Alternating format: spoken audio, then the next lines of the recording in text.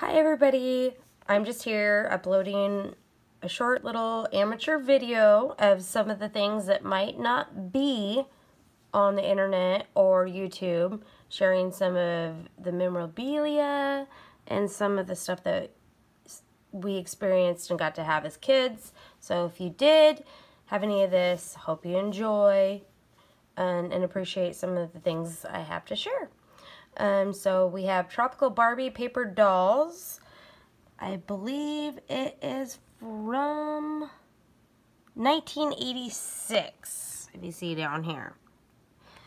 I know paper dolls are not something that people and children buy much these days, but I know when I was a kid, it was extremely popular. We loved it, as you can tell, sold for 1959. This is the full pack. So I just figured I'd go through it. Here you have Barbie and Ken. Gives the directions, how to use them. You still have the fold up paper stands.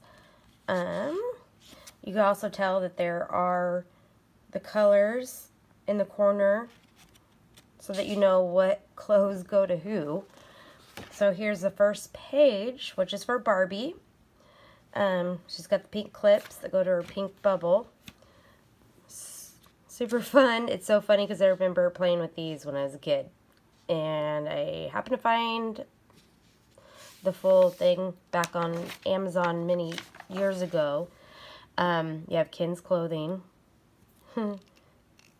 super retro. Um, you also have Miko, who used to be the Hawaiian Barbie doll. I don't think they make her anymore, but I do have the actual Barbie doll and her clothes from when I was a child. Um, have the swimsuit and uh, some of her clothing that went with that. Um, then we can also switch, if I can get it over there. Here you have what would be Skipper's clothing, I believe. Um, always loved the outfits. Like I said, I had the actual real Barbies of this um, on top of the paper dolls, of course. So here you got Miko and Skipper. So super fun memories for me. Hope if there's anybody out there that actually owned these and enjoyed it. You have the